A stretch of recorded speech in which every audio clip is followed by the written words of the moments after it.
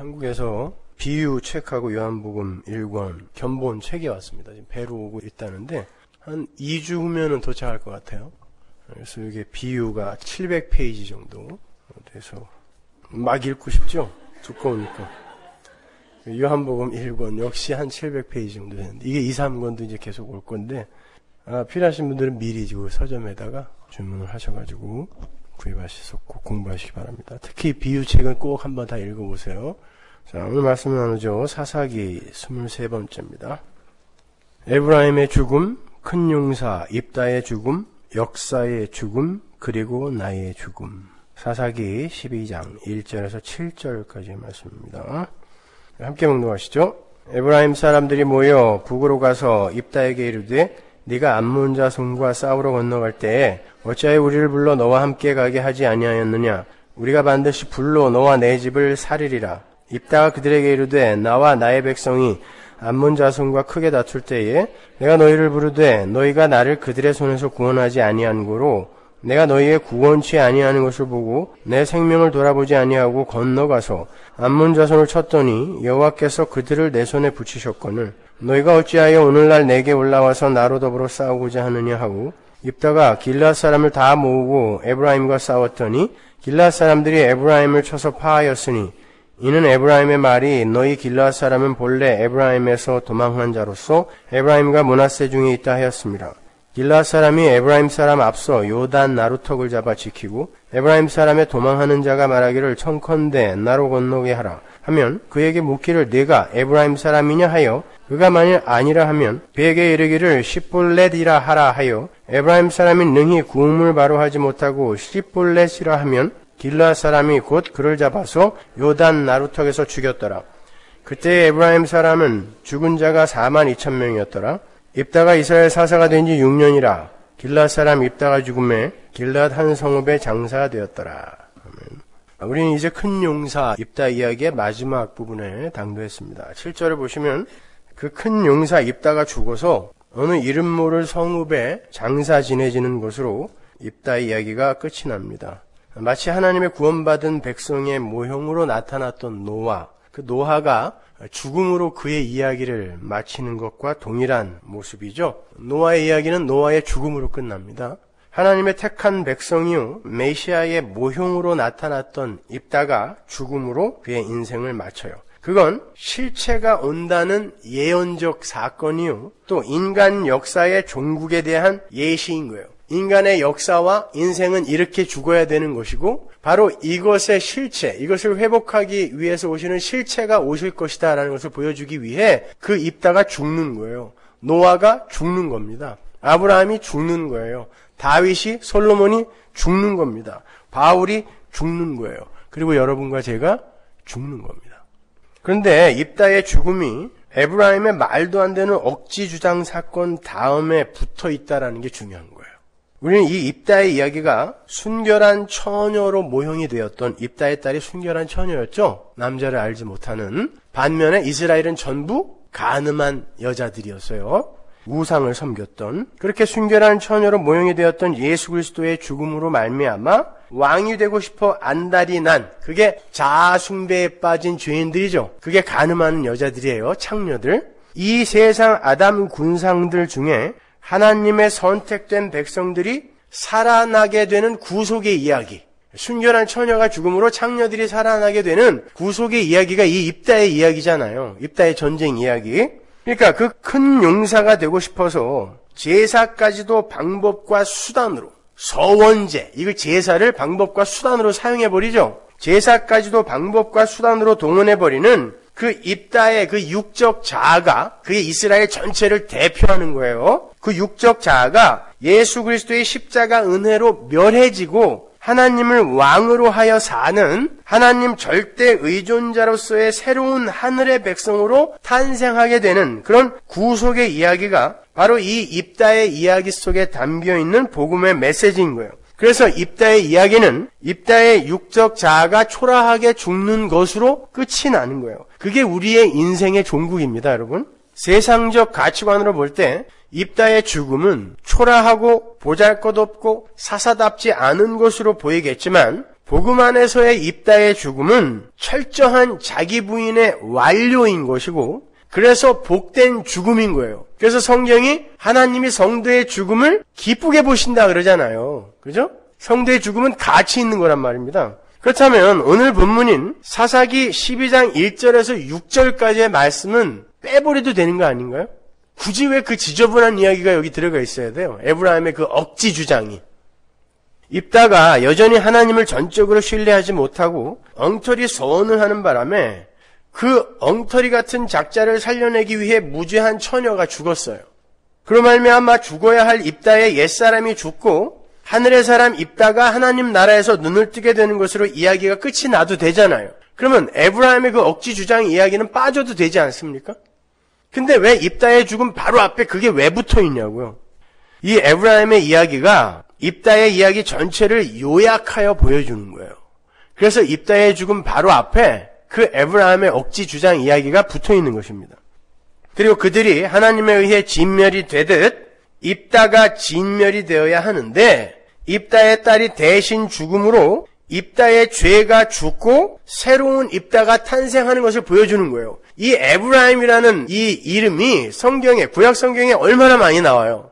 죽어야 할 자인데 하나님이 죽이지 못하고 다시 살려내는 에브라임아 에브라임아 내가 너를 아드마 같이 버리겠느냐 그 전에는 너 죽여버릴 거야 그러다가 결국에는 에브라임아 에브라임아 내가 너를 어떻게 버리겠느냐 이걸로 끝나는 그 이야기의 주인공이 에브라임이잖아요 그래서 그 에브라임이 들어가는 거예요 입단이 이렇게 죽는 게 아니다라는 걸 보여주는 거란 말입니다 오늘 본문의 이야기는 입다의 승리 소식을 들은 에브라임 지파가 입다의 승리를 시기하고 질투해서 입다에게 찾아와서 억지를 부리다가 결국 4만 2천 명이 몰살을 당하는 슬픈 이야기예요. 민수기에서 에브라임 지파 전체를 셌을 때 4만 2천 명이 안 되는데 여기에 4만 2천 명이 왔다는 건 거의 다 왔다는 거예요.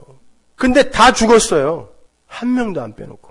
에브라임 지파의 이런 모습은 이런 억지스러운 모습은 여기에서만 나타나는 게 아니죠. 에브라임 지파의 시기와 질투 그리고 억지는 기드온의 이야기에서도 똑같이 나타나요. 제가 이 이야기에서 그걸 설명해 드리기 위해서 그 기드온의 이야기에서는 에브라임 지파 이야기를 빼놓고 왔는데 한번 보세요. 사사기 8장 1절. 에브라임 사람들이 기드온에게 이르되 네가 미디안과 싸우러 갈 때에 우리를 부르지 아니하였으니 우리를 이같이 대접하면 어찜이뇨 하고 크게 다투는지라. 기드온이 그들에게 이르되 나의 이제 행한 일이 너희의 한 것에 비교되겠느냐? 에브라임의 끝물 포도가 아비에셀의 맏물 포도보다 낫지 아니하냐? 하나님이 미디안 방백 오렙과 스앱을 너희 손에 붙이셨으니 나의 한 일이 어찌 능히 너희의 한 것에 비교되겠느냐? 기드온이 이 말을 하며 그들의 노가 풀리니라. 사사 기드온이 300명의 군사로 미디안 연합군을 대파하고 승리를 하자 에브라임이 찾아와서 사사에게 시비를 걸었습니다. 같은 이스라엘이에요. 근데 한 지파가 와서 시비를 거는 거예요. 에브라임이. 왜 자기들을 부르지 않고 전쟁을 치러서 자기들이 차지할 수 있었던 전공을, 전적을 왜 너희들이 차지하느냐라고 억지를 부리는 거예요. 왜 안 불렀냐고. 여기서 에브라임은 하나님의 영광이 아닌 자기들의 영광을 구하는, 자기들의 영광을 추구하는 이기적인 아담 군상을 대표하고 있는 거예요. 그들은 자신들이 하나님의 전쟁에 쓸모 있는 존재라는 자기 주체성, 그 자기 존재성을 여전히 공고히 붙들고 있는 거죠. 우리가 도움이 됐을 텐데 왜 우리를 안 불렀냐는 거예요. 여러분이 아시다시피 기도원의 전쟁은 인간의 힘과 지혜를 깡그리 부정하는 하나님의 전쟁이었잖아요. 하나님의 큰 용사가 되고 싶어하는 인간들의 그 죄성을 완전히 무시해버리죠. 3만 2천 명의 군사를 300명으로 줄여버린다고요. 그리고 그들의 손에 나팔하고 횃불, 항아리 이런 걸 들린단 말이에요. 무기를 들어야 할 손에다가. 그건 이 전쟁 니들의 힘으로 하는 거 아니야 라는 걸 보여주는 거라 그랬잖아요. 그러니까 그 전쟁은 오직 하나님의 능력으로만 치러진 전쟁이란 말입니다. 그렇게 선악과를 따먹고 마치 자기들이 큰 용사인 양 착각하며 살던 자들이 하나님의 그 능력 앞에서 나는 18만 5천 앞에 300입니다. 죽은 흙입니다. 라는 그 고백을 하는 게 진짜 영적 전쟁의 승리임을 기도원의 전쟁을 통하여 보여준 거라고 그랬잖아요. 단순히 대적을 물리친 게 아니라 우리 안에 대적, 그게 뭐예요? 내가 하나님처럼 되고자 하는 게 우리 안에 마귀성 아닙니까? 그걸 부수어내는 거란 말이에요. 그게 하나님의 영적 전쟁의 승리란 말입니다. 그런데 그러한 여호와의 전쟁 말미에 에브라임이 자신들의 힘과 능력을 여전히 의지하는 자들로 기드온 앞에 나타난 거예요. 그리고는 기드온을 시기하고 질투하는 거죠. 왜 우리가 가질 수 있었던 영광을 네가 차지하냐는 거예요. 기드온이 그들을 달랩니다. 에브라임 너희들이 미디안의 오랩과 스앱을 죽여서 전쟁을 마무리했으니까 진짜 영웅은 니들이야. 어찌 니들이 한 일과 내가 한 일을 비교하겠니? 니들이 한 일이 진짜 왔다야. 그랬더니 노가 풀렸대요. 이런 어리석은. 그러니까 에브라임이 자기들의 힘과 능력을 의지하여 다른 이들의 공로를 시기하고 질투하는 인간 안의 마귀성을 대표하고 있는 게 여실히 드러난 거예요. 추켜 세워주니까 풀리잖아요. 근데 기드온이 에브라임에게 한 말을 잘 보시면 에브라임이 오렙과 스앱을 죽일 수 있었던 것도 하나님의 붙이심에 의한 것이었죠. 하나님이 오렙과 스앱을 너희 손에 붙이셨으니 그러잖아요. 그러니까 그들이 한 게 아니란 말이에요. 그것도. 근데도 자기들을 칭찬해 주는 걸로 알고 으쓱해가지고 녹아 풀려서 돌아갔단 말입니다. 그러니까 모든 전쟁은 하나님의 전쟁이었음에도 불구하고 에브라임은 자신들의 영광 챙기기에 여념이 없어서 하나님의 영광을 하나님의 전쟁 승리를 자기들이 영광으로 취해 가져버린 거죠. 맞아. 우리가 안 도와줬으면 니네 전쟁 못 마쳤어. 이렇게. 그러나 하나님은 절대로 당신의 영광을 다른 자들에게 넘겨주지 않으세요. 그래서 그 영광을 도취한 자를 죽여버리는 것입니다. 그래서 오늘 본문에 에브라임이 진멸되는 거예요. 이사야서 42장 8절 보세요. 나는 여호와니 이는 내 이름이라 나는 내 영광을 다른 자에게 내 찬송을 우상에게 주지 아니하리라. 근데 우리는 지금 하나님의 영광을 끊임없이 찬탈하려고 하죠. 그러니까 우리의 이 육적 자아는 반드시 죽어야 된단 말입니다. 그래서 여러분의 육적 자아가 이 세상에서 죽어가는 것으로 여러분의 인생이 펼쳐지는 거예요. 전개되는 거예요. 그러니까 불평불만 하지 마시라니까요. 왜 하나님 나를 이렇게 죽이냐고? 그게 맞는 거예요. 하나님의 영광 우리가 선악과 따먹고 그거 우리가 찬탈해 버렸잖아요. 지금도 그거 찬탈하기 위해서 나를 왕으로 삼기 위해서 우리는 이 신앙 생활까지도 이용해 먹고 있는 자들이잖아요. 48장 11절 내가 나를 위하며 내가 나를 위하여 이를 이룰 것이라. 이거 하나님이 하신 말씀이에요. 어찌 내 이름을 욕되게 하리요 내 영광을 다른 자에게 주지 아니하리라. 어떤 면에서 이 역사의 존재 목적은 하나님께서는 절대로 다른 자들에게 당신의 영광을 빼앗기지 않으신다라는 사실을 피조물의 심장에 각인시키는 체험 삶의 현장 같은 거예요. 선악과 따먹고 하나님처럼 된 아담들을 죽여가는 게 역사란 말입니다. 다시는 선악과 못 따먹게. 다시는 자기가 인생의 주체가 되어서 못 살게 하는 거. 그렇게 살게 되면 어떠한 결국으로 우리가 치닫게 되는가를 경험케 해주는 게 역사란 말이에요. 역사의 존재 목적. 그럼에도 하나님의 은혜를 떠난 인간들은 오로지 자신들의 영광을 위해서만 살죠. 하나님처럼 되고 싶으니까. 요한복음 5장 44절 보세요. 너희가 서로 영광을 취하고 유일하신 하나님께로부터 오는 영광을 구하지 아니하니 어찌 나를 믿을 수 있느냐. 요한복음 12장 43절. 저희는 사람의 영광을 하나님의 영광보다 더 사랑하였더라. 그죠? 예수님이 하신 말씀을. 에브라임은 바로 모든 죄인들의 자기 영광 구하기의 본보기로 지금 억지를 부리고 있는 거예요. 그게 기드온의 본 모습이었고 입다의 본 모습이었잖아요. 하나님은 그들을 죽이시는 거예요. 오늘 본문을 보시면 입다가 에브라임을 진멸한 이유가 나오는데요. 그거에 에브라임이 자기를 무시했다라는 이유예요. 그러니까 여기서 입다는 지금 죽어야 할 에브라임을 진멸하는 자로도 서지만 그도 죽어야 할 자로 폭로되는 거예요. 본문 4절 보세요. 입다가 길르앗 사람을 다 모으고 에브라임과 싸웠더니 길르앗 사람들이 에브라임을 쳐서 파하였다. 이는 이유가 나오는 거예요. 에브라임의 말이 너희 길라 사람은 본래 에브라임에서 도망한 자로서 에브라임과 문하스 중에 있다 하였습니다. 무슨 무슨 애들도 아니고 에브라임이 입다와 길라 사람들에게 너는 원래 우리에게서 도망간 그런 근본도 없는 자야. 이렇게 욕을 해대자 입다와 길라앗이 이게 어따 대고 그러고 죽인 거예요. 그게 기분 나빠서. 입다와 길라앗의 분노가 어떤 지경까지 끌어올랐는가 하면 요단 나루토에 가서 지키고 있다가 요단강은 골짜기를 사이로 흐르는 강이거든요. 그러니까 배가 드나들 수 있는 나루터가 몇 개로 한정돼 있었어요. 그러니까 거기만 지키면 되는 거예요. 에브라임이 그거 넘어왔으니까 다시 넘어가야 되잖아요. 그러니까 거기서 지키고 있다가 오는 족족 다 죽여버린 거예요. 그런데 나 에브라임 사람 아니다 그러면은 놓칠 수도 있잖아요. 그래서 입다가 말을 시켰어요. 시볼렛 해봐. 그래갖고 씨볼렛 그러면은 보내주고요. 십자를 못하고 씨볼렛 그러면 죽인 거예요. 왜냐면 그게 사투리였거든요. 히브리어에는 쉰과 쉰이라는 발음이 있는데 경상도 사람들이 쌀을 살이라고 하는 것처럼 아, 제 친구들도 항상 쌀을 살, 살 그래가지고 근데 화가 나니까 쌍은 하더라고요.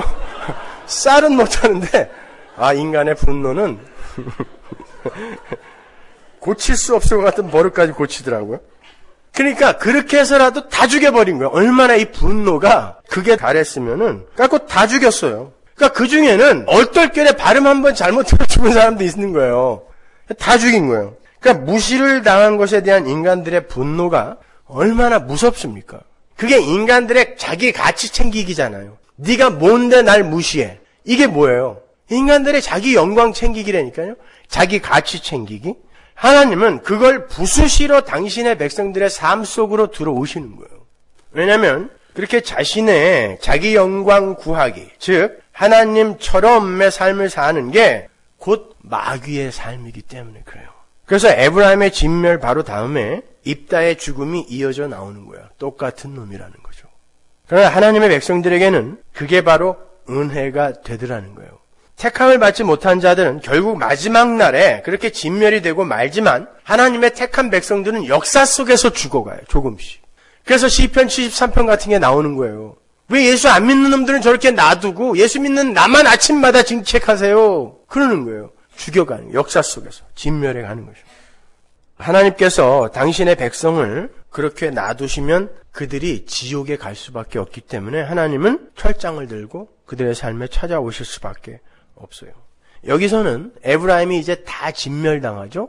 근데 호세아서에서는 에브라임에게 하나님이 어떤 속마음을 이야기하는지 한번 보세요. 11장 8절. 에브라임이여 내가 어찌 너를 놓겠느냐 이스라엘이여 내가 어찌 너를 버리겠느냐 보세요 에브라임과 이스라엘을 동격으로 놓고 있죠 이 에브라임은 지금 이스라엘의 대표이고 이스라엘은 여러분과 저의 대표인 거예요 내가 어찌 너를 아담과 같이 놓겠느냐 어찌 너를 수보임같이 두겠느냐 내 마음이 내 속에서 돌아서 나의 긍휼이 온전히 불붙듯하도다 내가 나의 맹렬한 진노를 바라지 아니하며 내가 다시는 에브라임을 멸하지 아니하리니 이는 내가 사람이 아니요 하나님입니다 나는 네 가운데 거하는 거룩한 자니 진노함으로 내게 임하지 아니하리라.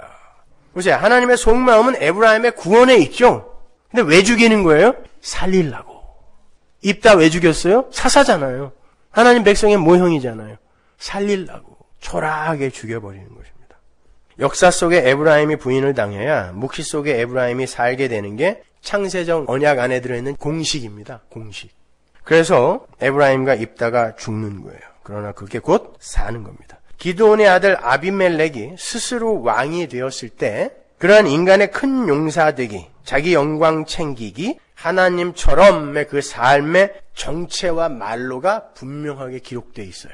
사사기 9장 22절 보세요. 아비멜렉이 이스라엘을 다스린 지 3년에 하나님이 아비멜렉과 세겜 사람들 사이에 악한 신을 보내심에 세겜 사람들이 아비멜렉을 배반하였으니 이는 여룻바알의 아들 70인에게 행한 포악한 일을 갚되 그 형제를 죽여 피 흘린 죄를 아비멜렉과 아비멜렉의 손을 도와서 그 형제를 죽이게 한 세겜 사람에게로 돌아가게 하십니다. 세겜 사람들이 산들 꼭대기에 사람을 매복하여 아비멜렉을 엿보게 하고 무릇 그 길로 지나는 자를 다 겁탈하게 하니 혹이 그것을 아비멜렉에게 고하니라. 에베세 아들 가알이 그 형제로 더불어 세겜에 이르니 세겜 사람들이 그를 의뢰하니라. 그들이 밭에 가서 포도를 거두어다가 밟아 짜서 연회를 배설하고 그 신당에 들어가서 먹고 마시며 아비멜렉을 저주하니 에베세 아들 가알이 가로되 아비멜렉은 누구며 세겜은 누구기에 우리가 아비멜렉을 섬기리요? 그가 여룻바알의 아들 아니냐? 그 장관은 스불이 아니냐? 차라리 세겜의 아비 하몰의 후손을 섬길 것이라. 우리가 어찌 아비멜렉을 섬기리요? 아하 이 백성이 내 후수하에 있었다면 내가 아비멜렉을 제하였으리라 하고 아비멜렉에게 내 군대를 도하고 나오라고 말하니라.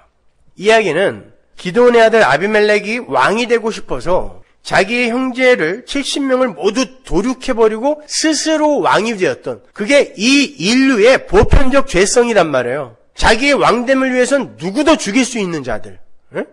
그렇게 왕이 되었던 고 아비멜렉 이야기 바로 뒤에 나오는 사건이란 말이에요. 자기의 왕됨, 자기의 영광을 챙기기 위해 형제들까지도 살해하기를 마다하지 않은 아비멜렉의 그 잔인한 추구가 세겜의 배반에서 그리고 에벳의 아들 가알의 선동에서 그대로 재현되고 있잖아요. 그런데 결과가 어떻게 되죠? 다 죽어요. 다 죽는 거예요. 심지어 아비멜렉은 맷돌짝에 맞아서 묵사발이 되어서 죽습니다. 역사는 이렇게 진멸을 당하게 되지만 그 중에서 하나님의 자비와 긍휼과 은혜를 입게 되는 자들은 그러한 역사 속의 진멸 과정을 통과한 후에 하늘의 존재로 완성이 되는 거예요. 그러니까 예수 안 믿는 사람들보다 예수 믿는 여러분들이 이 세상 살이가 더 힘들어요. 우리가 꼭 기억해야 할 것은 이러한 모든 사건들이 어떤 선언 뒤에 일어나는 것인가에 관한 거예요. 사사기 8장 33절 보세요. 기드온이 이미 죽음에 이스라엘 자손이 돌이켜 바알들을 음란하게 위하고 또 바알 브릿을 자신들의 신으로 삼고 사면 모든 대적의 손에서 자기들을 건져내신 여호와 자기들의 하나님을 기억지 아니하며 보세요. 이렇게 죄를 짓고 우상을 섬기더라 이놈들이. 기도원이 죽더니. 그러면서 나온 게 아비멜렉의 자기 형제들 70명 도륙한 사건. 그리고 그 밑에 붙어있는 세겜의 배반 가알의 배반 선동 이런 것들이 붙어있는 거예요. 이게 바로 자숭배교에 빠져있는 이 인간들의 마귀성인 거예요. 이 이야기 뒤에 이 구장의 이야기가 쭉 붙어있단 말입니다 그렇게 하나님을 기억하지 않고 바알을 음란하게 섬기는 행위가 자기 영광 챙기기, 왕되기, 큰 용사 되기, 그리고 그에 따른 시기와 질투로 터져 나오더라는 거예요.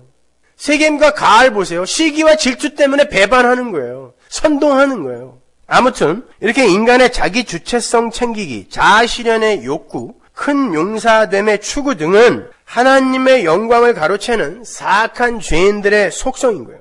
죄의 삭은 사망이죠. 그래서 그대로 두면 그들은 모두 죽어요. 하나님은 당신의 백성들의 삶에 내려오셔서 그걸 멸해버리심으로 그들을 구원해내는 거예요. 우리의 자기 야망 챙기기, 꿈 챙기기, 미래에 되고 싶은 나 챙기기, 내 영광 챙기기, 가치 챙기기, 이거를 못하게 막으로 내려오시는 분이 하나님이라니까요? 하나님의 이름을 부르면서 그걸 구하고 있으면 어떻게 해요? 그걸 부수러 오시는 게 하나님인데. 왜? 그게 죄이기 때문에 그렇게 살다가는 죽거든요. 죄의 삭시 사망이니까. 그래서 당신의 백성을 구하기 위해서는 그, 그러한 인간들의 그런 욕망과 야망을 부수어야 된단 말이에요. 그래서 힘이 쭉 빠진 너덜너덜한 오이지로 만들어 버리는 거예요. 성도를. 소금 팍팍 쳐서. 갈라디아서 3장 22절 보세요. 그러나 성경이 모든 것을 죄 아래 가두었으니 이는 예수 그리스도를 믿음으로 말미암은 약속을 믿는 자들에게 주려 함이라. 성경이 진술하기를 하나님께서 모든 자를 죄 아래 가두셨다 그래요. 여기에서의 모든 자, 이 안에는 성도도 포함된 겁니다. 모든 자. 그런데 그 안에 진짜 생명이 뚫고 들어가서 이 어둠을 찢고 나오는 거예요. 그걸 경험케 해주시는 거예요. 그래서 반드시 여러분은 어둠을 먼저 경험해야 돼요. 여러분이 이 세상 속에 내려와 있는 이유예요, 그것이. 그 어둠을 밖에서가 아니라 내 안에서 먼저 자각해야 된다니까요. 그래서 첫 창조가 저녁이 되며 아침이 되니 첫날이다. 이렇게 시작되는 거예요. 왜 유대인들의 날이 저녁부터 시작되는 줄 아세요? 창조의 날은 새 창조를 모형하는 거라고 그랬죠. 그건 저녁부터 시작하는 거예요. 그래서 첫 창조가 흑암, 혼돈, 공허부터 시작하는 거예요. 아니 어떻게 완전하신 하나님이 뭘 창조했는데 혼돈이고 공허냐고요. 말이 안 되잖아요. 왜 아담이 생명나무 실과를 먹은 자로 탄생하면 왜 안 되죠? 왜 그걸 안 먹고 선악과를 먹고 어둠에서부터 출발하냐고요. 하나님이 뭔가 실수한 거예요? 아니에요. 그게 완전함이라니까요. 하나님이 누구신지를 드러내기 위해 이 역사는 예수 그리스도로 말미암고 예수 그리스도를 위하여 창조됐다 그러잖아요. 그분을 드러내고 그분이 어떤 분이신지를 드러내는 게 역사와 인생의 목적이란 말이에요. 그래서 여러분은 어둠부터 출발하는 거예요. 혼돈과 공허와 어둠에 하나님의 생기가 확 들어가니까 빛이 어둠을 찢고 나오는 거예요. 그러더니 어둠을 다 먹어버리는 것입니다. 아, 내 안에 그 생명, 그 빛 없었으면 어떻게 할 뻔했는가? 이거 배우고 가는 거예요. 여러분이 빛이 되어서 가는 게 아니라 잘 생각하세요. 성화주의의 성화는 우리 보고 자꾸 빛이 되자고 그러는데 이 성경 말씀은 우리가 빛이 아니라 우리는 어둠인데 죄 속에 갇혀 있는데 내 안에 도저히 이거 없어질 것 같지 않은 이 어둠과 죄가 내 안에는 빛에 의해 찢어 밝혀지더니 그 빛에 의해 점령당하더라. 그래서 나는 빛이 되었구나. 그래서 그 빛만을 의지해야 되는구나. 요거 배우고 가는 거예요. 그래서 내가 어둠이 찢겨지고 그 빛이 점점 밖으로 드러나게 되는 걸 진짜 성화라고 하는 거란 말입니다. 그러니까 거기에는 자랑이 없는 거란 말이에요. 내 거가 아니니까. 이제 오늘 본문으로 한번 돌아가 볼게요. 입다가 암몬과의 전쟁에서 크게 승리를 하고 돌아오자 에브라임이 또 시비를 걸고 들어와요. 근데 입다는 기드온과 달리 에브라임의 비위를 맞추는 대신에 에브라임을 쳐버려요. 내가 언제 너희 안 불렀냐? 그래 버려요. 불렀다는 것입니다. 내가 불렀을 때는 이 승리의 주사위가 다른 지파들도 그랬죠. 이 승리의 주사위가 누구에게 유리하게 던져질지 몰라서 들은 척만 해놓고 이제 와서 내가 승리를 하고 나니까 승리의 전과를 나눠 갖자는 거냐? 그리고 죽여버리는 거예요. 결국 에브라임은 입다에 의해서 완전히 진멸이 돼요. 근데 우리가 조금 아까 보았듯이 성경은 에브라임을 이스라엘의 대표로 부르고 있단 말입니다. 다시 한번 호세아서 5장으로 가보세요. 3절. 에브라임은 내가 알고 이스라엘은 내게 숨기지 못하나니 에브라임아 이제 내가 행음하였고 이스라엘이 이미 더러웠느니라. 그죠? 에브라임 이스라엘, 에브라임 이스라엘 이렇게 똑같은 존재를 다른 이름으로 부르는 건 에브라임이 바로 이스라엘의 대표라는 걸 보여주는 거예요. 그러니까 그 많은 지파 중에 유독 에브라임이 이러한 악역을 맡은 이유가 뭐겠어요? 하나님은 지금 에브라임을 들어서 전체 이스라엘의 정체를 폭로시키고 계신 거예요. 성경이 얼마나 일관성이 있습니까? 그리고는 바로 그러한 육적자의 자기 실현과 자기 영광 챙기기의 말로가 어떤 것인지를 에브라임의 진멸을 통해 보여주는 거예요. 다 죽여버리는 거예요. 그런 인간들의 선악과 따먹은 자로서의 자기 영광 챙기기의 삶은 반드시 멸해져야 할 이 땅의 것들임을 분명하게 보여주시는 거예요. 그리고는 입다가 쓸쓸하고 초라하게 죽는 장면을 그 뒤에 붙이심으로 말미암아 하나님의 택한 백성들의 이 땅에서의 결국에 대해 힌트하는 거예요. 하나님의 택한 백성 입다도 이렇게 죽는다. 에브라임도 이렇게 죽는다. 그러나 하나님이 한 번 택한 당신의 백성을 죽이는 거 보았냐? 완전히 그냥 포기하는 거 봤냐? 아니잖아. 그걸 성경 전체를 통해 일관성 있게 보여주는 거예요. 그리고 신약으로 끌고 가는 것입니다. 그래서 내가 예수를 보냈다로 끌고 가시는 거예요. 근데 중요한 건 그런 인간들의 그 하나님처럼의 그 자기 영광 챙기기의 추구가 개별적이며 개인적인 게 아니라 집단적이며 사회적인 형태로 존재한다는 거예요. 에브라임 사람 몇 명이 와서 시비를 건 게 아니라 에브라임 전체가 왔죠. 에브라임 전체가 자신들의 권력에 대한 정욕을 뿜어내고 있었다는 걸 여러분이 잊으시면 안 돼요. 그게 바로 선악과 따먹은 죄인들의 보편적 속성이라는 걸 보여주는 거예요. 보편적 속성. 그건 역사 속에서도 분명하게 드러나고 있어요. 하나님은 그걸 부수시는 거거든요. 그걸 역사 속에서 계속 보여주세요. 하나님께서 예수라는 뜨인 돌로 신상을 박살내는 장면이 나오는 데가 있죠. 다니엘서에 나오는데 하나님께서 예수를 통해 부수시고자 하는 게 무엇인지 한번 보시란 말이에요. 다니엘서 2장 31절. 왕이요 왕이 한 큰 신상을 보셨나이다. 그 신상이 왕의 앞에 섰는데 크고 광채가 특심하며 그 모양이 심히 두려우니 그 우상의 머리는 정금이요 가슴과 팔대는 은이요 배와 넓적다리는 옷이요 그 종아리는 철이요 그 발은 얼마는 철이요 얼마는 진흙이었나이다. 또 왕이 보신즉 사람의 손으로 하지 아니하고 뜨인 돌이 신상의 철과 진흙에 발을 쳐서 부서뜨림에 때 철과 진흙과 놋과 은과 금이 다 부수어져 여름 타작마당에 겨같이 되어 바람에 불려간 곳이 없었고 우상을 친 돌은 태산을 이루어 온 세계에 가득하였었나이다. 바벨론의 느부갓네살 왕이 어느 날 꿈을 꿉니다. 바벨론은 세계 최고 강국이었어요 당시에. 근데 꿈자리가 좀 뒤숭숭했어요. 꿈에 커다란 신상이 하나 나왔는데 그 신상의 머리가 금이고 가슴과 팔들은 은으로 되어 있고 배와 넓적다리는 노시고 종아리는 철이었어요. 그리고 그 밑에 발은 철과 흙이 섞인 모양이었어요. 철이 들어가요, 거기에. 근데 뜨인 돌 하나가 마치 볼링공이 핀을 치듯이 날아가서 그 신상을 뻥 쳤는데 이게 완전히 산산조각이 나서 없어져 버렸어요. 그리고는 그 뜨인 돌이 태산처럼 세상을 메우는 거예요. 세상에 가득 차버렸다고 그래요. 그 뜨인 돌이. 다니엘이 그 꿈을 이렇게 해석해요. 그 신상의 각 부분은 장차 이 세상에 올 강력한 나라를 가리키는 거다. 그러죠? 머리는 느부갓네살 왕 당신, 바로 바벨론이다라고 하고 가슴과 팔은 메대와 바사예요. 바벨론이 메대와 바사에게 망하잖아요. 그리고 메대와 바사는 헬라에게 망하죠. 예, 그게 노수로 된 배와 넓적다리예요. 그리고 철로 된 종아리는 로마란 말이에요. 이상 열고된 나라들이 다 어떤 나라죠?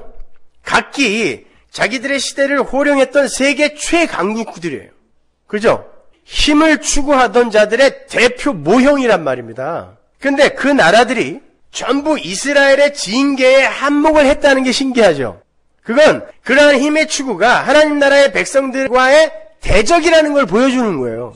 그래서 유독 그런 나라들을 들어서 하나님이 이스라엘을 치시는 거예요. 그 작은 강원도만한 나라를 하나님은 이스라엘의 음란하고 추악한 실체를 그러한 대적들의 모습을 통해서 폭로하시고 니들이 바로 저런 모습이다라고 폭로하시고 결국 그들을 멸해버리심으로 말미암아 하나님의 구속 사역이 어떠한 모양으로 진행이 될 것임을 힌트해 주신 거예요. 사사기의 내용이 전부 그렇잖아요. 대적들을 들어서 이스라엘의 죄를 지적한 다음에 얘네들을 갖다가 사사를 들어서 멸해버리는 방법으로 다니엘서 2장 44절 보세요. 이 열왕의 때에 하늘에 하나님의 한 나라를 세우시리니 이것은 영원히 망하지도 아니할 것이요 그 국권이 다른 백성에게로 돌아가지도 아니할 것이요 도리어 이 모든 나라를 쳐서 멸하고 영원히 설 것이라. 영원한 나라가 바로 그 나라를 다 부순 다음에 선다는 거예요.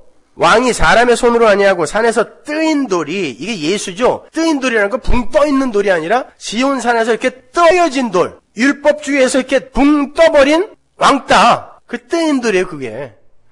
뜨인 돌이 철과 놋과 진흙과 은과 금을 부서뜨린 것을 보신 것은 크신 하나님이 장래 일을 앞으로 일어날 일을 왕께 알게 하신 것이라 이 꿈이 참되고 이 해석이 확실합니다. 그러니까 이게 역사 속에서 일어나는 일, 일이라는 말이잖아요. 그 일이 이 역사 속에서 일어났고 지금도 일어나고 있는 거예요. 힘을 추구하는 세상 나라와 그 나라를 이루고 있는 아담 군상들의 멸망. 그게 지금 역사가 달려가고 있는 목적지예요. 그런데 여기에 보시면 철로 된 종아리와 철과 흙이 섞인 발 이후에는 이어지는 나라가 없죠. 그 이후에는 하나님 나라가 서는 거예요. 근데 철이 어떤 나라라 그랬어요? 로마죠.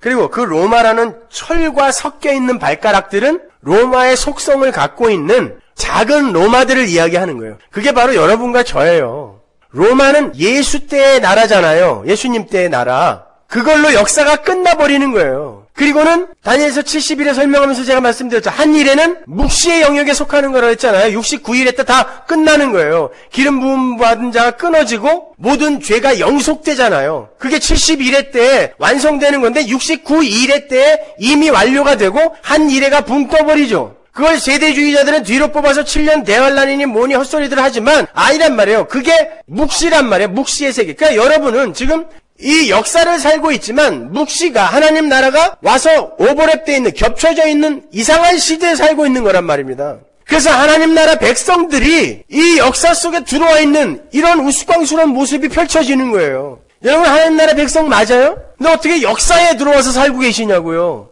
이 지금 묵시와 역사가 지금 오버랩되어 있는 이상한 시기, 그 시기에 지금 여러분이 들어와 있는 거예요. 그러니까 로마 시대에 예수님이 오셔서 로마를 잡아먹어버렸죠.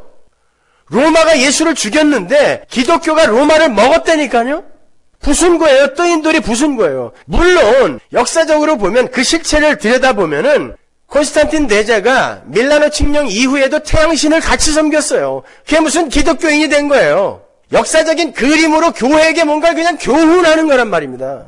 로마가 기독교에게 넘어갔다고 해서 로마가 전부 구원받았습니까? 아니란 말이에요. 바로 이러한 성경의 약속들, 언약들이 성취되어지는 모습들을 하나님의 성경을 통해서 교회에게 교훈하는 거예요. 오히려 기독교가 로마의 국교가 된 다음에 기독교가 타락하기 시작했다는 걸 아세요? 땅과 돈과 권력을 갖기 시작하면서 기독교가 아주 질이 멸렬해졌다 그때부터 오히려 그거는 실질적으로 기독교가 로마를 먹은 게 아니에요. 세상에게 기독교가 먹힌 거지. 그러나 표피적인 그림으로 볼 때는 바로 이러한 하나님의 약속들이 지금 성취되고 있는 것처럼 보이는 거야. 도저히 이루어질 수 없는 게 로마가 예수를 죽였는데 어떻게 예수가 기독교가 로마를 먹습니까? 어떻게 부숩니까? 그리고 어떻게 하나님 나라를 펼쳐요? 안 되는 거잖아요. 근데 하나님의 언약은 성취되더라라는 걸 보여주는 말입니다. 그러면 역사는 보세요. 보시다시피 로마에서 끝나는 거예요. 근데 그 로마 철과 섞인 발가락들이 묵시를 살게 돼요. 한 일회를. 그게 이 로마 흉내를 내면서 끊임없이 하나님의 대적으로 사는 이 역사예요. 한 일의 역사. 그게 여러분과 저란 말입니다. 그러면 하나님이 로마를 부수었듯이 철과 흙이 섞인 여러분과 저를 어떻게 하시겠어요? 부수신단 말입니다. 멸해버려야 돼요. 그래야 하나님 나라가 선다니까요. 지금 우리 안에는 내가 구축해 놓은 내 나라로 가득 차 있잖아요. 하나님이 이걸 부숴야 하나님 나라가 펼쳐질 거 아닙니까? 근데 이걸 부수느라고 하나님이 찾아오셔서 철장을 휘두르면 이걸 고쳐달라고 막아달라고 하나님의 이름을 불러요. 그럼 하나님이 어떻게 해야 돼요 도대체가? 여러분 역사와 인생의 목적과 그 실체를 명확히 아셔야 돼요. 그래 이 세상 속에서 성도다운 삶을 우리가 살 수 있다니까요.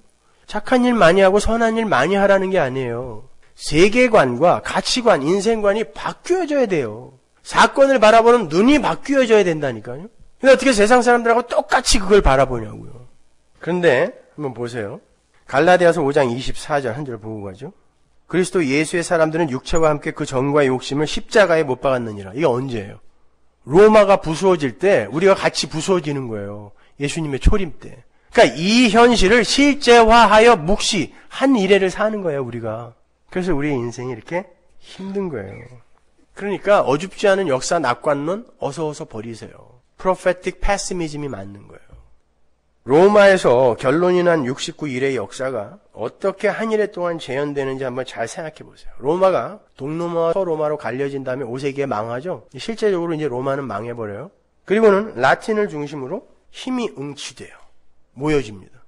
그리고는 가톨릭이라는 거대한 힘의 세력이 전 세계를 또 기독교가 로마를 먹은 이후에 이 라틴 세력이 이 응취, 힘을 응취해서 거대한 하나의 또 다른 세력이 되잖아요. 그래서 이제 왕들도 막 세웠다가 폐위시켰다가 그래요. 이 세력이. 하여튼 이 힘의 세력 보세요. 힘의 세력의 흐름을 한번 보세요. 그러다가 이 Roman Catholic이 전 세계의 힘의 왕좌를 차지하고 있다가 종교 개혁에 의해서 마틴 루터 독일 사람이에요. 게르만 사람. 루터에 의해서 종교 개혁이 일어나면서 한풀 꺾이죠. 그러면서 게르만이 힘을 얻기 시작합니다, 여러분. 그러다가 이 게르만에게 이 힘이 넘어가면서 19세기에 이 게르만 민족들이 뭉쳐서 독일 제국을 만들어요. 이게 종교 개혁부터 시작된 거 아세요? 그리고는 이 프러시안 군벌이 2차 세계대전을 일으키는 거예요. 힘. 그리고는 이게 나치, 히틀러에게로 흘러가서 2차 대전이 또 일어나요. 그 과정에 니체의 힘의 철학이 독일의 니체의 힘의 철학이 게르만인들의 이 힘의 추구를 도와줍니다. 힘이 곧 정이다라고 이야기를 해요. 니체가. 그래서 약한 자들을 도와야 되고 약한 자들도 귀한 자들이라고 가르치는 그런 신을 죽었다라고 외친 거예요. 니체가. 힘이 진리니까. 힘이 정이니까. 그 힘의 철학을 등에 업고 독일이 전 세계를 잡아먹으려고 했던 거라니까요. 보세요. 그 역사, 이 힘과 하나님과의 전쟁, 그 와중에 항상 하나님의 백성과 하나님의 교회가 항상 끼어 있죠. 역사는 하나님의 백성들을 중심으로 흘러가는 거예요. 그렇게 2차 대전까지 맞춰지고 또 그 와중에 어, 니체와 비슷한 시기에 찰스 다윈이 역시 이 힘은 진리다라는 것을 근간으로 한 진화론을 내놓죠. 적자 생존, 약육강식 이게 뭐예요? 약한 놈은 다 죽는다예요. 적자가 되기 위해서는 힘을 가져야 된다가 찰스 다윈의 진화론 아닙니까? 보세요. 전 세계는 이렇게 합심하여 하나님을 대적해요. 근데 하나님은 계속 그걸 부수어 가시는 거예요. 근데 그 대적자의 자리에 우리가 있다니까요. 그들과 사실 뭐가 달라요, 우리가? 그러한 힘이 어디로 또 넘어와요? 2차 대전 후에 소련과 미국이 나눠 먹죠? 여러분은 세계 최고의 강국 미국에 살고 계세요. 이게 어디서부터 흘러온 거예요? 바벨론에서부터 이 느부갓네살이라는 대가리부터 흘러내려온 거란 말입니다. 근데 여기 사는 게 그렇게 좋아요? 아니, 여러분 안에 세계 최고 강국인 미국을 꿈꾸고 있잖아요. 그래서 아메리칸 드림 꿈꾸고 여기 온 거 아닙니까? 그게 바로 우리 안에 존재하는 보편적 마귀성이라니까요. 이 힘은 또 어디로 흘러갈지 몰라요. 그러나 하나님은 끝까지 쫓아가서 다 죽이시는 거죠. 그게 우리 인생이란 말입니다. 그리고 그게 역사인 거예요. 약육강식 적자 생존은 짐승들, 맹수들의 세계의 질서예요. 그래서 다니엘서 2장에서 느부갓네살이 본 신상을 다니엘은 7장에서 맹수로 표현을 하죠. 그것만 한번 찾아보고 갈까요? 다니엘서 7장 4절 보세요. 첫째는 사자와 같은데 독수리의 날개가 있더니 내가 볼 사이에 그 날개가 뽑혔고 또 땅에서 들려서 사람처럼 두 발로 서게 함을 입었으며 또 사람의 마음을 받았으며 다른 짐승 곧 둘째는 곰과 같은데 그것이 몸 한편을 들었고 그 입에 이 사이에는 새 갈빗대가 물렸는데 그에게 말하는 자가 있어 이르기를 일어나서 많은 고기를 먹으라 하였으며 그 후에 내가 또 본즉 다른 짐승 곧 표범과 같은 것이 있는데 그 등에는 새의 날개 넷이 있고 그 짐승에게 또 머리 넷이 있으며 또 권세를 받았으며 내가 밤 이상 가운데 그 다음에 본 넷째 짐승은 무섭고 놀라우며 또 극히 강하여 또 큰 철리가 있어서 먹고 부서뜨리며 그 나머지를 발로 밟았으며 이 짐승은 전에 모든 짐승과 다르고 또 열 뿔이 있으므로 내가 그 뿔을 유심히 보는 중 다른 작은 뿔이 그 사이에서 나더니 먼저 뿔 중에 셋이 그 앞에 뿌리까지 뽑혔으며 이 작은 뿔에는 사람의 눈 같은 눈이 있고 또 입이 있어 큰 말을 하느니라. 전부 입에 뭘 물고 있거나 씹어 먹고 있어요. 이게 힘의 원리, 힘의 철학하에 이 세상의 모습이에요. 맹수 같은 모습. 근데 성도는 이러한 맹수 같은 세상에게 잡아먹히는 자로 살게 된다니까요. 그래서 예수님이 제자들을 보내면서 성도들을 세상에 보내면서 이리들에게 보내는 양이라고 말씀하신 거예요. 그리고는 뱀처럼 지혜로우라고 하신 거예요. 뱀처럼 지혜로우라는 것은 뱀의 지혜에 속지 말란 뜻이에요. 뱀 같아지라는 뜻이 아니라 뱀의 지혜가 뭐였어요? 야 피조물의 자리를 벗어나 왜 네가 하나님 말만 들어야 돼? 이게 뱀의 지혜잖아요. 거기에 속지 말라라는 건 너 양의 자리 벗어나서 맹수처럼 같이 물고 뜯지 마. 내가 그렇게 안 만들 거야. 그래서 제자들이 그렇게 보내진 제자들이 전부 세상에게 먹혀 죽은 거예요. 근데 하나님은 그러한 하나님 백성들의 육적자의 진멸 그 과정을 통하여 그 하나님의 백성들을 새롭게 창조해내고 계시는 것입니다. 그것이 역사인 거예요. 여러분, 나에 대한 주체성과 존재성을 버리지 못한 아담 군상들의 그 자기 영광 챙기기에서 발생되는 대표적 증상이 뭐예요? 질투예요. 에브라임이 기도원 때나 입다 때 모두 그놈의 질투 때문에 그런 억지를 부린 거예요. 인류 최초의 살인의 발생 동기가 뭐죠? 질투잖아요. 가인이 아벨을 왜 죽였어요? 질투 때문에. 왜 내 행위를 가치 있게 여겨주지 않아? 자기 가치 챙기기 아닙니까? 그러니까 내 행위를 가치 있게 여겨주지 않는 하나님을 죽이고 싶은데 그 하나님을 죽일 능력이 없으니까 그 하나님이 나보다 낮게 여기는 그 자를 죽이는 거예요. 이게 우리의 속성 아닙니까 오늘날? 교회 안에서도 여전히 일어나는 일들 아니에요 이것이? 질투. 그 에브라임, 내 안에 들어와 있는 에브라임을 하나님이 죽여 가시는 게 신앙생활이란 말이에요. 그러니까 교회 안에서는 기고만장하여 날뛰는 이들이 없어야 돼요. 계속 맞아 죽고 있는데 애구애구 하고 있는데 어떻게 말이 안 되는 거예요, 그건요. 왜 내가 너보다 더 융숭한 대접을 못 받느냐라는 왜 내가 너보다 가치 없는 자 취급을 받아야 하느냐라는 그런 이기적 감정에서 격발되는 게 질투잖아요. 그러한 질투심에서 차등 상급론이 나오는 거예요. 생각해 보세요. 내가 남보다 나은 상을 받겠다는 건 너보다는 나은 대접을 받겠다는 거죠. 그게 차등 상급론 아닙니까? 상이라는 단어가 갖고 있는 개념 자체가 그거잖아요. 그래서 차등 상급론을 주장하는 자들이 일도 열심히 하고 희생도 하고 봉사도 하는 거예요. 이게 구원파에서 열심을 격발시킬 때 쓰는 수법이죠. 그러한 이들의 인간 행위에 대한 이해가 어떤 것이겠어요? 인간의 행위는 충분히 상을 받을 만한 가치가 있다 라고 바라보겠죠. 그러니까 상 운운하는 거 아닙니까? 그러니까 자기의 행위를 인정하지 않는 하나님에게 분노하게 되는 거고 하나님의 심장에 칼 꽂을 능력 없으니까 하나님이 자기보다 낮게 여기는 자의 심장에 칼을 꽂는 거예요. 그게 이 세상이에요. 사사기 안에서의 에브라임의 시기와 질투가 꼭 그런 거예요. 자기들에게 미리 알렸으면 자기들이 하나님의 전쟁에서 혁혁한 공을 세워서 영광이라는 상급을 쟁취할 수 있었을 것이라고 생각하는 거예요. 그건 영광이라는 것에 대한 아담 군상들의 오해에서 기인한 거예요. 인간의 가치관 안에서의 영광은 자기들의 힘과 능력이 이렇게 전시되거나 자랑되었을 때 타자로부터 인정을 받는 게 영광이죠. 쉬운 말로 내 자랑이란 말이에요. 인간들의 영광은. 그러나 성도의 영광은 나라는 존재 안에서 기인되는 게 아니라 나라는 존재 밖에서 하나님으로부터 거저 주어지는 거예요.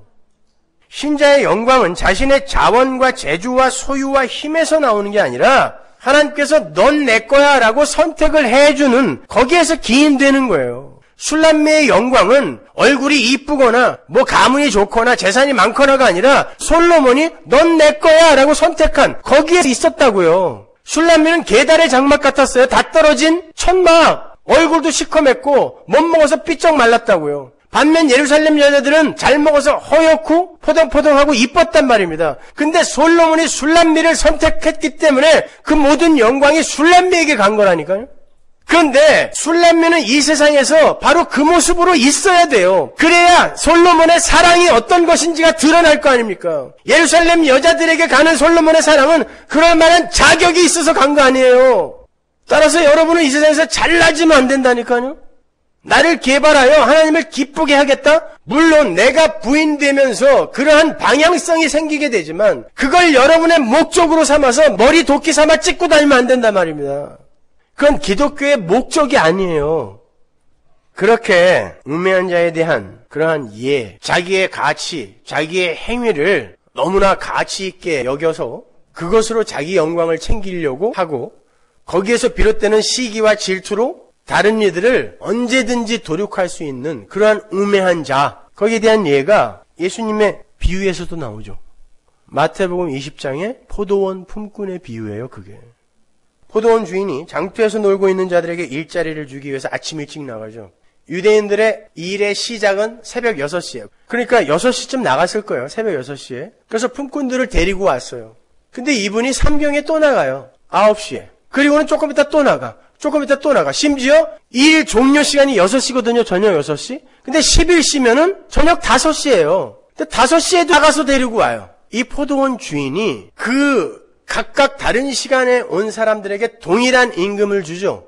그랬더니 일찍 와서 일한 사람들이 나중에 와서 일한 사람들이 자기와 동일한 임금을 받는 것을 보고는 화를 냅니다.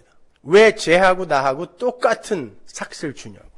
그 임금 정산 전까지는 전부 기쁘게 일했다니까요. 왜? 품꾼이라는 그 단어 자체가 일일 노동자예요. 일일 노동자는 그 하루에 일이 없으면 죽어요.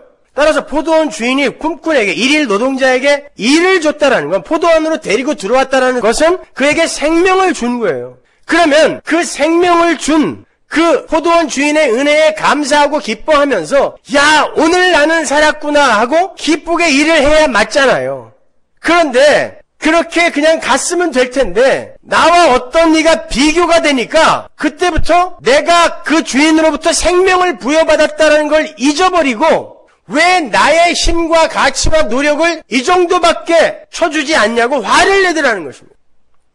생각해 보세요. 우리가 죽어야 할 우리가 살아나서 생명을 얻었어요.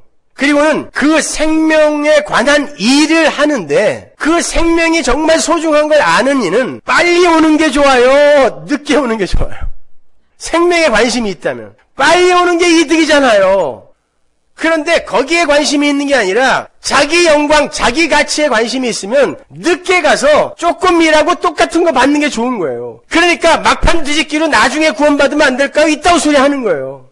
아니라고요. 이 더럽고 외롭고 고독한 이 세상에서 누구하고 정말 이 생명에 관한 이야기를 나누려고 하는데 나눌 사람이 없어. 너무 외롭지 않아요? 오늘도 예배당에 앉아서 원고를 이렇게 쓰고 있는데 너무너무 외로워. 얘기할 사람이 없어. 뭐 전화 오는 사람은 전부 일, 일, 일. 뭔 일들을 그렇게 하는지 일. 고독해요. 그런데 이런 세상 속에서 그 하나님과 교제를 하면서 생명을 나에게 허락하신 그분의 그 은혜, 사랑, 그 자비를 누리며 사는 게 왜 수고롭냐고요, 그게. 그게 수고로 여겨진다는 것 자체가 나에게 준 생명의 의미를 모른다는 이야기예요. 그러니까 나보다 조금 덜 일한 자가 나와 동일한 대우를 받거나 더 나은 대우를 받으면 질투가 일어나는 거예요. 그래서 상 안 줘요? 이러고 안 줘요. 여러분 이 이야기가요. 어디에 붙어 있는 비유예요, 이게? 부자 청년 이야기요. 어떻게 해야 내가 구원받습니까? 라고 물었을 때 이거 저거 해. 그랬더니 나 다 했습니다. 그러면 네가 가진 거 돈 다 가난한 사람한테 주고 나를 따라라 그랬어요. 그랬더니 그건 안 되겠어요. 그랬단 말이죠. 그러니까 이가 여태까지 하나님 앞에서 한 행위가 바로 이 돈으로 자기를 행복하게 하려고 했던 그런 어떤 힘의 축적으로서의 행위였다라는 게 들통난 거죠. 그걸 하나님이 부자라고 하는 거예요. 자기의 행위와 자기 존재의 가치를 부여해서 하나님 앞에서 이게 쓸모 있는 거라고 내가 상을 받을 만한 일이라고 내놓기 위해서 그걸 쌓는 자들을 부자라고 하는 거예요. 그래서 부자는 천국에 못 간다라고 끝을 맺어버리죠. 그리고는 먼저 된 자가 나중 되고 나중 된 자 먼저 된다. 그러잖아요. 근데 바로 그 이야기 밑에 또 다른 부자가 나와요. 베드로가 주님, 저는 다 버렸는데 뭘로 보상해 주실 거예요? 이놈도 부자인 거예요. 역시 자기가 한 행위를 가치 있게 여기면서 무얼로 보상해 줄 거예요? 그러잖아요. 그때 예수님께서 이 비유를 말씀하시는 거예요. 그래놓고 똑같이 먼저 된 자 나중 되고 나중 된 자 먼저 된다 그러는 거예요.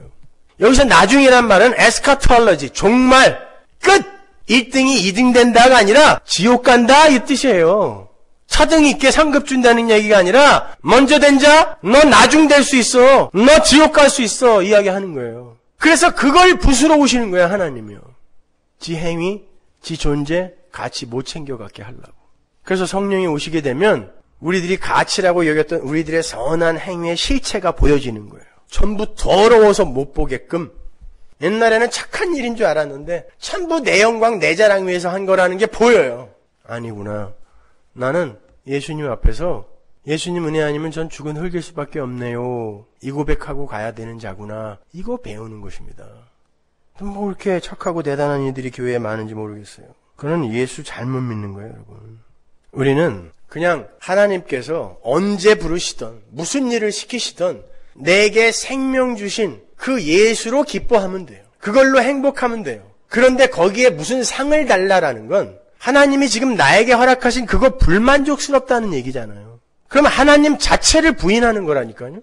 그게 어떻게 전지전능한 하나님을 믿는 자예요, 이게. 그 하나님이 나에게 주신 것에 만족하지 못한다면, 그리고 그분의 하시는 일에 대해서 신뢰하지 못한다는 이야기잖아요, 이게. 그게 무슨 예수 믿는 거냐고요. 그러니까 쟤는요, 쟤는요, 나는 왜 이 모양이에요? 이러고 있는 거예요. 에브라임의 이야기가 바로 그 이야기를 말하고 있는 거예요. 일한 만큼 차등 있는 대우를 해주는 건 자본주의 사회에서 질서죠. 그렇게 안 해주면 자본주의 사회는 안 돌아가요. 이 세상은 안 돌아간다고요. 차등 있는 연봉을 줘야 그 자리에서 최선을 다한다니까요. 공산주의가 왜 망해가는 줄 아세요? 동일한 분배를 해주니까 뭐 그럴 바에는 그렇게 열심히 일할 필요 있어. 이게 인간의 죄성이란 말입니다. 그러나 그건 자본주의 사회의 질서예요. 일한 만큼 차등 있게 지급을 하는 건 하나님 나라의 질서는 자비와 긍휼과 은혜에서 비롯되는 질서란 말이에요. 근데 거기에서 어떻게 차등이 있냐고요. 우리의 일과 행위에 무슨 가치가 있다고. 하나님의 일이 뭐라 그랬어요? 하나님이 보내신 자 예수를 믿는 거라며요. 거기에 무슨 가치가 있어요? 그것 자체가 가치인데. 아니 하나님의 백성은 그냥 하나님의 백성이라니까요. 다 강아지가 50% 강아지 있어요? 그럼 그 반은 뭐예요 도대체? 70% 고양이 이거, 이거 없잖아요. 하나님의 백성은 100% 하나님의 백성이라니까요. 화가는 매 순간 그림을 그리고 있지 않아도 화가예요. 가수가 매 순간 노래를 하지 않아도 가수라니까요. 그가 하는 일에 초점이 있는 게 아니라 그 존재의 변화에 초점이 있는 거예요. 그것으로 기뻐하시란 말입니다. 근데 그것으로 기쁜데 무슨 시기와 질투가 있어요. 재산 좀 없으면 어떻습니까? 이 세상에서 좀 홀대받는 사람, 그런 역할을 좀 맡았으면 어때요? 그 신랑이 여러분 데리러 오신다며요. 오늘 아침에 아가서 보니까 신랑이 마차, 가마를 갖고 오시더라고요. 가마의 옆자리를 비워놓고. 근데 그 가마가 금과 비단으로 돼 있어. 그 옆자리가 누구 자리예요? 여러분 자리라니까요.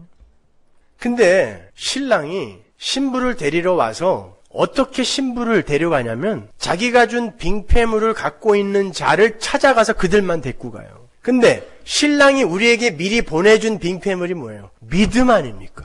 그거 말고 딴 걸로 더덕더덕 붙이고 있으면 뭐 저런 게 다 있어. 안 데려간단 말입니다. 선한 일을 하지 말라는 게 아니라 그걸 여러분의 의로 쌓지 말란 말이에요. 아니, 그거 열심히 노력해서 이루어내려는 게 아니라 하나님이 그렇게 안 되게 여러분을 아주 묵사발 내려 오셔서 그런 삶으로 이끌어 가실 때 당황하지 마시라고요. 여러분은 그 삶으로 점철되는 고단한 고난의 연속인 삶을 살게 돼요. 그러나 하나님과 하나님 나라에 대한 소망으로 넉넉히 이겨내고 심지어 소망으로 인하여 기뻐할 수 있고 행복할 수 있는 그러한 그러한 삶을 살게 되는 거예요. 알았어요. 끝낼게요. 신호까지 주시고 그래요. 아셨죠? 에브라임의 이야기, 입다의 이야기. 우리는 이 세상에서 그렇게 마치 질이 멸렬하여 죽어가는 것 같지만 결국은 에브라임아, 내 새끼들아, 내가 너희를 어떻게 버리겠니? 내가 너희를 그렇게 취급한 건 너희를 살리기 위함이야. 라는 하나님의 사랑스러운 음성을 들으셔야 돼요. 마지막으로 로마서 4장 4절 읽어보고 마치죠. 일하는 자에게는 그 삭슬 은혜로 여기지 아니하고 빚으로 여기거니와 이를 아니할지라도 경건치 아니한 자를 의롭다 하시는 이를 믿는 자에게는 그의 믿음을 의로 여기시나니 일한 것이 없이 하나님께 의로 여기심을 받는 사람의 행복에 대하여 다윗의 말한 바 그 불법을 사하심을 받고 그 죄를 가리우심을 받는 자는 복이 있고 주께서 그 죄를 인정치 아니하실 사람은 복이 있도다 함과 같으니라. 예, 보세요.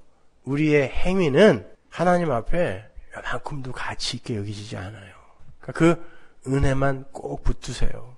그거 아는 이들은 절대로 질투하지도 않고 나는 왜 이렇게 고생하는데 왜 상을 이거밖에 안 줘요? 이런 원망 안 할 수 있는 거예요. 그게 진짜 성숙입니다. 기도하겠습니다. 하나님 감사합니다. 우리는 이 세상에서 우리의 위치가 낮아지고 소유가 줄어들 때 그것을 하나님의 저주로 알며 살았습니다. 몸에 질병이 걸리거나 다른 사람들로부터 멸치천대, 모함, 누명, 손가락질을 받을 때 그것이 하나님이 나를 버려서 그런 일이 일어나는 것으로 알았습니다.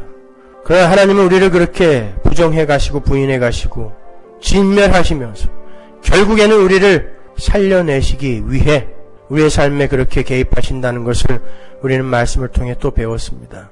하나님, 그렇게 하나님에 의해 끌려가는 그 삶을 올바른 믿음의 눈으로 분별하여 하루하루를 하늘의 기쁨과 하늘의 행복으로 살 수 있게 도와주옵소서. 그래서 살아있을 수 있게 하여 주옵소서. 예수님의 이름으로 기도합니다. 네.